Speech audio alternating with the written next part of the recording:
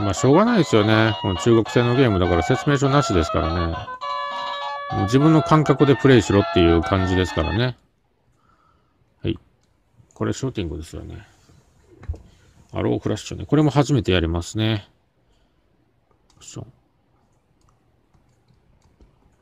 7期。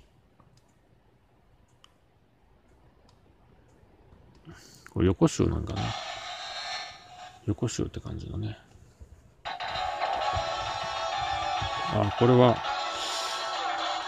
なんかあのサイドアームの主人公になんか似てるなモビちゃんに。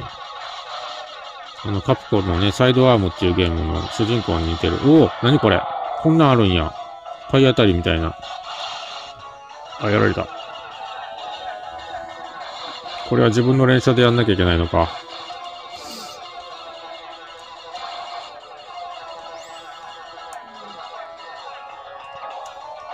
あ、変化するんや、変化つうか。あ、死んだ。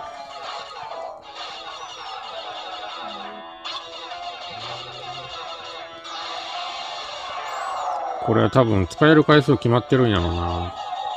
この体当たり。ああ、やばい。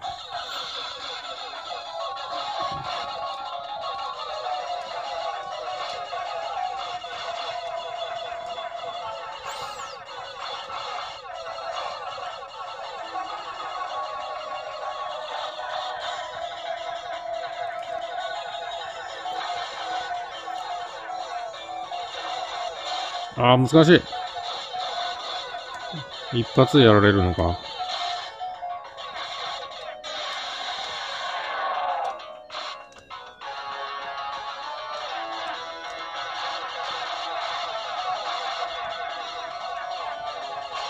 これな、テレビ画面でやりたかったよな。あ、なんか、まあ、撮れなかったな。あ。これね、テレビに接続できなかったんですよね。うん、結局。